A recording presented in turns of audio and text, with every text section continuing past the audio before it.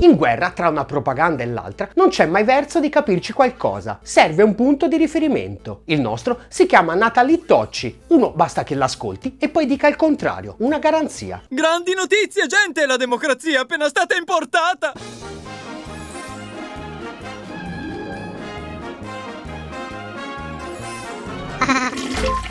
4 marzo, la nostra Natalia annuncia che la popolazione civile di Kiev e Kharkiv ha le ore contate. La strategia di Putin a questo punto è come dire la strategia di Grozny, la strategia di Aleppo, radere al suolo le città. Un mese dopo i russi si ritirano da Kiev senza mai essere ricorsi alle loro armi più devastanti e senza mai aver nemmeno accennato a una campagna di bombardamenti come quelle effettuate dai paladini del mondo libero e democratico a Belgrado o a Baghdad. Poi è stata la volta del tormentone sulla data fatidica del 9 di maggio, la giornata della vittoria. I russi hanno bisogno di un successo militare entro il 9 di maggio. Poi ovviamente il 9 maggio non è successo una sega niente. È una guerra, mica il lancio del nuovo iPhone, ma il mio preferito comunque è questo. 30 marzo. Lo leggo tutto perché ne vale la pena. La farsa sul pagamento dell'energia russa in rubli e il passo indietro che Putin è stato costretto a fare nelle sue telefonate di oggi con Scholz e Draghi segnala che quando siamo fermi sul principio tutta la fragilità della Russia viene alla ribalta. Sapete tutti come è andata a finire. 17 maggio,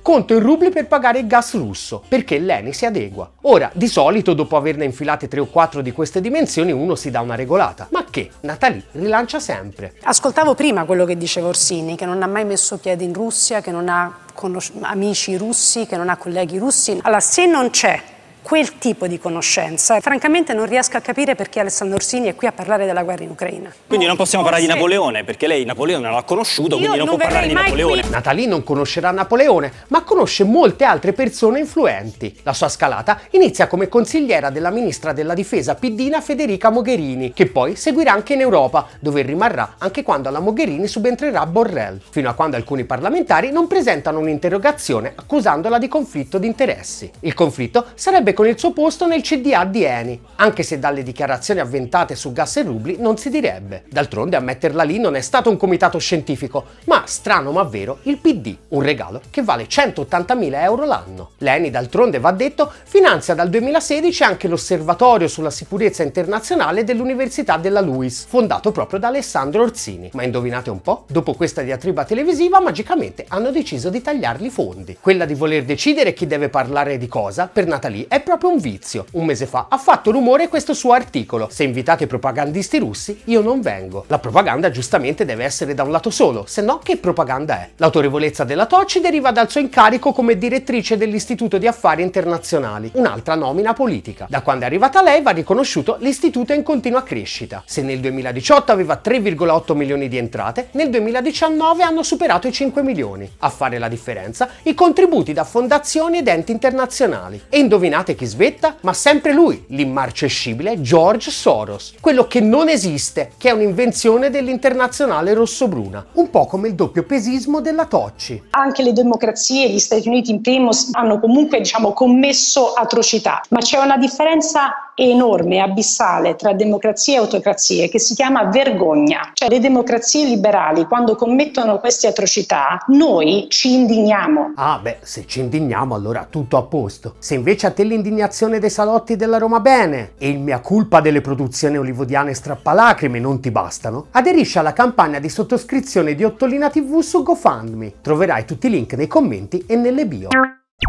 Ottolina TV, comunque vada, sarà successo.